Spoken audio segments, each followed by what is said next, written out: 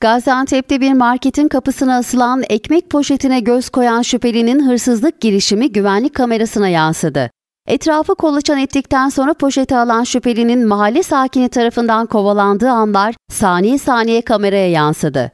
Olay Merkez Şahinbey ilçesine bağlı 25 Aralık mahallesinde sabah saatlerinde yaşandı. İddiaya göre mahalledeki bir marketin kapısına asılan ekmek poşetini gözüne kestiren genç önce etrafı kolaçan etti. Sokakta ve çevrede kimsenin olmadığını anlayan genç ekmek poşetini alarak uzaklaşmaya çalıştı. O sırada sokakta park halindeki aracından olayı gören vatandaş aracından inerek şüpheliye seslendi. Bir anlık şaşkınlık yaşayan genç Vatandaşın kendisine doğru koşması üzerine ekmek poşetini yere atarak kaçtı. İlginç hırsızlık girişimi sokaktaki bir iş yerinin güvenlik kamerasına an be an yansıdı.